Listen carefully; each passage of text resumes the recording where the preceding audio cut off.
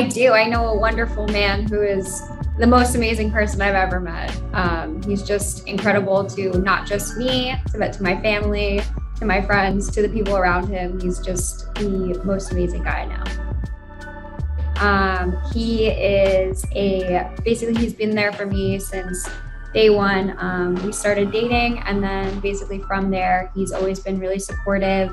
Um, and I've kind of come to realize that um, I've never really had that in my life before someone who's constantly there and just is so, you know, wanting to help the community and do all these amazing things. Um, he's just, you know, very philanthropic. He is always has my back on anything. I love singing.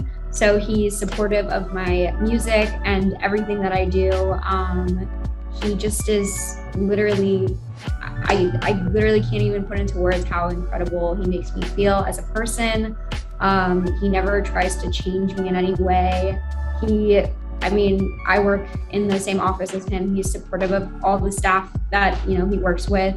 Um, there's literally no one ever has anything bad to say about him. Um, and he's just, you know, the most loving and caring person I've ever met in my life. So um, I'm so grateful to have him. Um, something I've again, I've never had before where someone who listens to what I have to say and sits with me and just kind of um, gets what I'm going through, even if I don't say much, like he'll know and he just kind of shows me that he's there.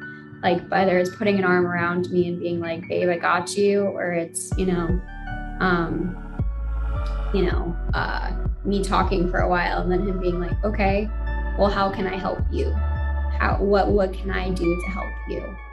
And uh, again, it's not even just for me. I've seen it with other people too with him, and uh, he's just an amazing guy.